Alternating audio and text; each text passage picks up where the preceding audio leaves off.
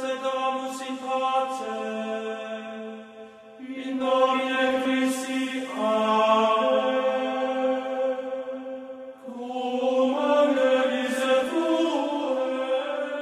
La ministra de Culturas y el embajador acompañados de las principales autoridades del Beni, incluyendo los caciques, líderes del Gran Cabildo Indigenal, recorrieron el templo de Mojos que la Compañía de Jesús instaló en la época colonial. Ambos pudieron atestiguar la riqueza histórica y espiritual que encierra el patrimonio amazónico.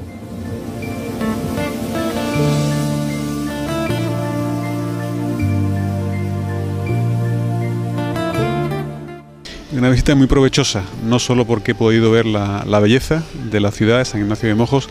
la riqueza de su patrimonio, de su cultura, de sus danzas, de su música, sino también la, vitalidad del pueblo, la vitalidad de su gente, la amabilidad, el recibimiento tan fantástico que me han hecho. Y yo creo que una visita muy provechosa que puede servir para empezar a trabajar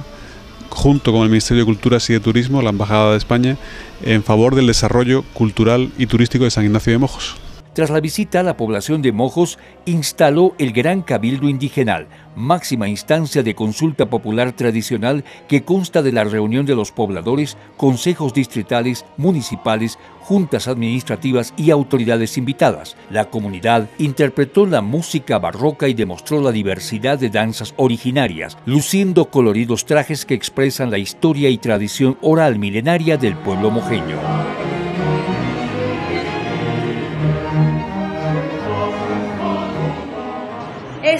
Proyecto propuesta del Plan de Gestión de Patrimonio Cultural de las Misiones Jesuíticas de Mojos Beni, con el fin de informar a la cooperación española de todo, de toda la parte histórica que tiene que ver con el circuito de misiones de Mojos, para que de esa manera ellos lo puedan valorar y esperamos realmente una respuesta positiva. Y la ministra ha hecho entrega de un informe ejecutivo para ver una serie de posibilidades de actuación conjunta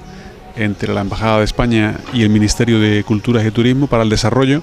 de la cultura, el turismo, el patrimonio del Beni de San Ignacio. Vamos a estudiarlo a fondo, como todo lo que nos propone el Ministerio de Culturas y de Turismo, y estoy seguro que vamos a encontrar varios puntos en los que podemos trabajar juntos. Al concluir la visita, la ministra de Culturas y Turismo, Vilma Lanoca, y el embajador de España en Bolivia, Enrique Ojeda, fueron declarados como huéspedes ilustres por parte del Gobierno Autónomo Municipal de San Ignacio de Mojos. El municipio de San Ignacio de Mojos es un pueblo de reducción misional jesuítico, pero también uno de los municipios más grandes del departamento del Beni y con mayor población indígena. Este municipio dista a 96 kilómetros de la capital Trinidad. En San Ignacio viven aproximadamente 21.643 pobladores e involucra a las localidades de San Lorenzo, San Javier, San Francisco y Trinidad.